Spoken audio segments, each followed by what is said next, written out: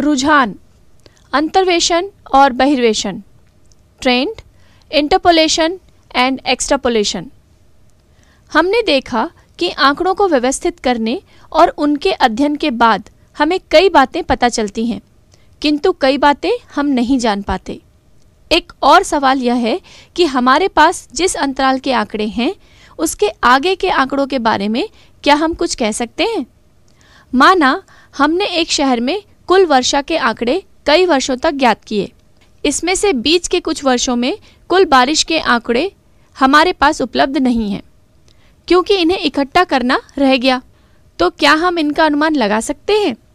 और हम यह भी सवाल पूछ सकते हैं कि क्या इन आंकड़ों से हम यह बता सकते हैं कि आने वाले साल में कुल कितनी बारिश होगी? इन दोनों के बारे में सोचने के लिए हमें आंकड़ों के पैटर्न को देखना होगा। यानी, क्या आंकड़ों में बदलाव का कोई निश्चित ढंग है? क्या उनमें हम कोई रुझान देख सकते हैं? हम आगे कुछ उदाहरणों के माध्यम से इस पर विचार करेंगे, और यह देखेंगे कि ऐसा कब किया जा सकता है और कब नहीं। मान लीजिए कि आप किसी द्रव्य को 40 मिनट तक गर्म करते हैं, और चार अलग अलग समय पर उसका तापमान नोट करते हैं, जो इस तालिका में दिए हैं। इन आंकड़ों को आलेख में दर्शाने पर बिंदु प्राप्त होते हैं। इन बिंदुओं से जोड़ती हुई एक रेखा खींचिए। हम कह सकते हैं कि शुरुआत में शून्य मिनट पर तापमान 20 डिग्री सेंटीग्रेड 10 मिनट बाद 30 डिग्री सेंटीग्रेड 30 मिनट बाद 50 डिग्री सेंटीग्रेड और 40 मिनट बाद 60 डिग्री सेंटीग्रेड नोट किया गया। पर क्या हम इन आंकड़ों को देखकर 20 मिनट और 60 मिनट बाद तापमान बता सकते हैं? ज़ाहिर है नहीं। इन आंकड़ों में सिर्फ़ शून्य, दस तीस और चालीस मिनट पर तापमान दिए हैं। बीस मिनट अंतराल दस से तीस के बीच आता है।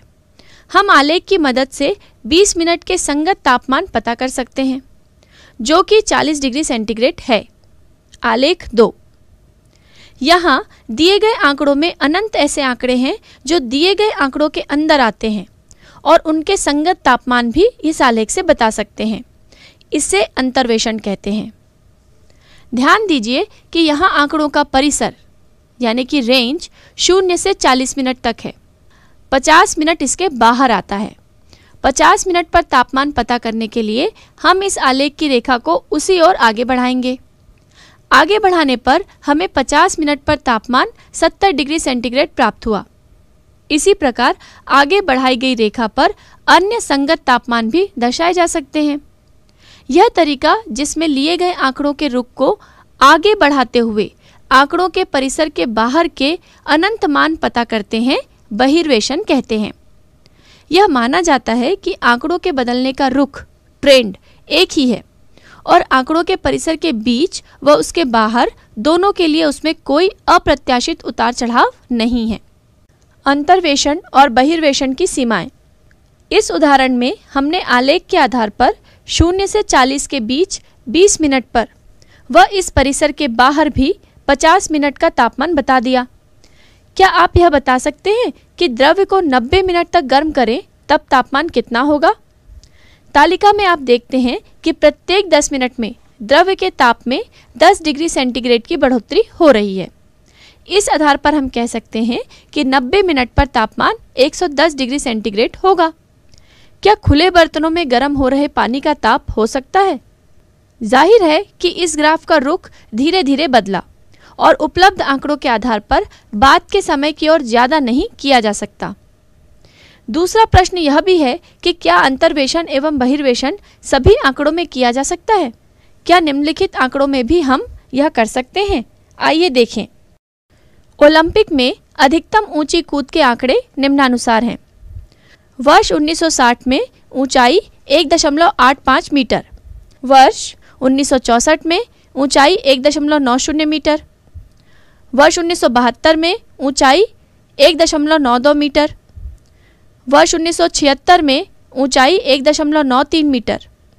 वर्ष 1980 में ऊंचाई 1.97 मीटर। इन आंकड़ों के आधार पर क्या आप बता पाएँगे कि 1956 में ऊँची कूद की अधिकतम ऊंचाई कितनी रही होगी? यह संभव नहीं है, क्योंकि इनमें कोई रुझान नहीं है। ये तो उस प्रतियोगिता में अधिकतम दूरी के रिकॉर्ड किए गए आंकड़े हैं। इसी प्रकार, यदि जनसंख्या के आंकड़ों में कोई रुझान नहीं है तो इसमें भी हम अनुमान नहीं लगा सकते कि आगे के वर्ष में जनसंख्या कितनी होगी, या दिए गए वर्षों के बीच किसी वर्ष में जनसंख्या कितनी रही होगी। यानी अंतर्वेशन एवं बहिर्वेशन की सीमाएँ हैं। जो आंकड़ों के रूप व रुख पर आधारित होते हैं। हम प्रत्येक प्रकार के आंकड़ों के लिए अंतर्वेशन और बहिर्वेशन नहीं कर सकते।